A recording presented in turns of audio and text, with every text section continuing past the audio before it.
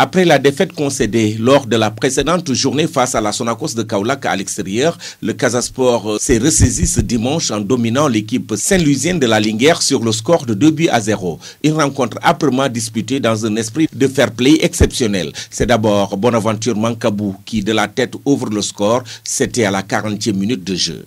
Le deuxième but, un véritable chef-d'œuvre, est l'œuvre de Gundoba, but intervenu à la 85e minute. Badarassar, coach du Casasport, tire les enseignements de cette rencontre. Déjà, c'était un match difficile.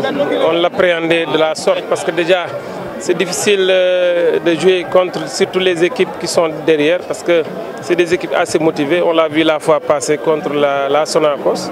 Je pense que sur ce match-là qu'on a joué la fois passée, c'est l'état d'esprit avec lequel on avait joué ce match-là qui nous a coûté cher. Même aujourd'hui, en début de partie, je pense qu'on a eu les mêmes errements, peut-être surtout en défense. Heureusement, on a été efficace. Ensuite, la Linguère aussi n'a pas été n'a pas eu l'efficacité qu'il fallait. Son homologue de la Linguère de Saint-Louis regrette, lui, le manque de réalisme de ses poulains. Bon, c'est un match, euh, c'est une défaite trop amère parce que c'est un match très, qui, qui s'est démarré trop trop facile pour nous, avec à, à, à l'appui un penalty manqué. Euh, mais c'est dommage parce que au pire on pouvait partir avec euh, un point, mais c'est dommage qu'on part avec euh, zéro point.